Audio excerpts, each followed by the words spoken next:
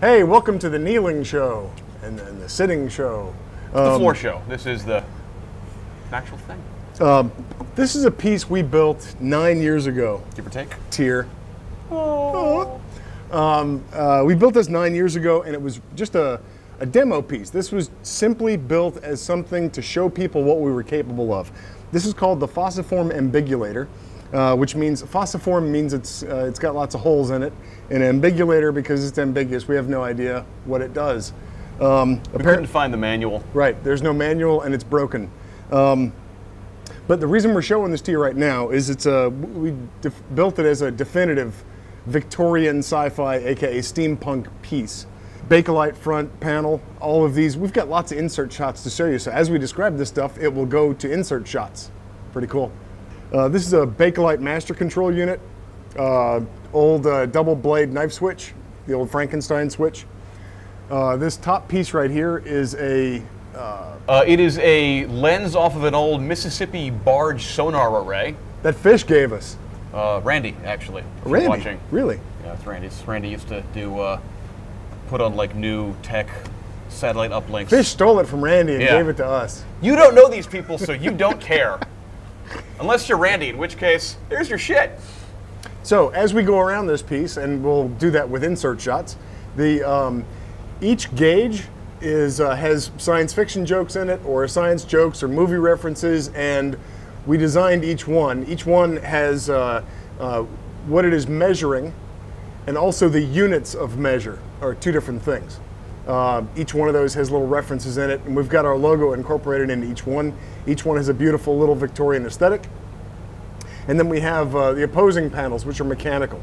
Uh, two of those are uh, clockwork panels, and two of those are uh, other type of mechanical panels, uh, including this little guy right here with arms that move, and um, They don't move. and uh, these are these are bits that we stripped out of old mechanical adding machines. What else? Uh, there was actually one of the really cool ones. It was a mechanical change maker. So entirely mechanically, you would.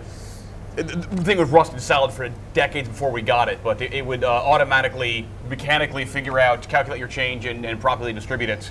You would, a lot of cool guts in that. You, you could type it. You basically press in 95 cents and hit a button or pull a lever, and it would dispense 95 cents in change, which is pretty cool. It was a, it was this bizarre little mechanical analog computer, though. and we killed it. Yeah, we destroyed the crap out of it. Lots of angle grinding and sparks flying, and Those old machines are not easy to take apart. They don't want to come apart. Uh, okay. unlike Mark's iPhone, which I would hit with a hammer.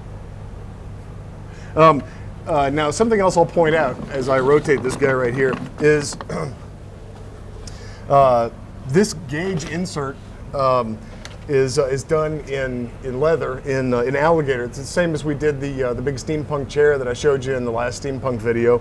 But that's, that's one of those little touchstones that we've, that we've done that we've repeated. So this stuff is on the, is on the, the, sniper, on the, the sniper case in the gun.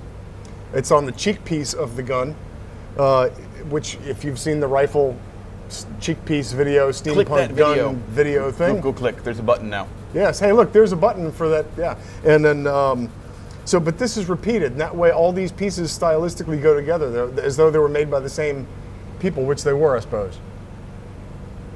So there. Yeah. I know them. The top of the piece is a lens off of an old Mississippi sonar barge array. I didn't get the words in the correct order, but you get what I'm saying. Uh, big, big fat lens.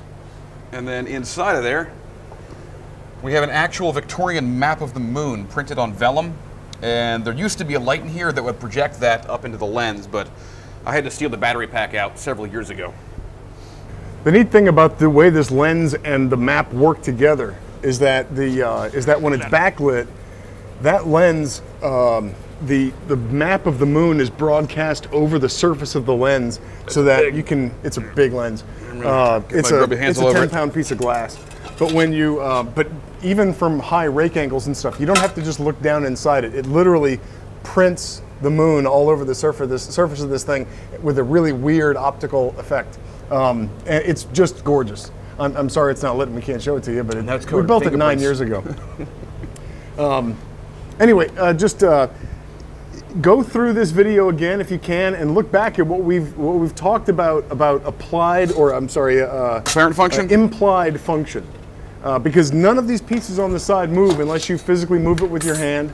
Uh, this gauge face lights up, and that's it. The, the moon lights up. It's it's a light switch. Um, but when you look here. at when you look at this machine, everything about it tells you that it's real and that it works. That's kind of what this whole piece is all about. Is that it's uh, is uh, is it sure as hell looks like it does something.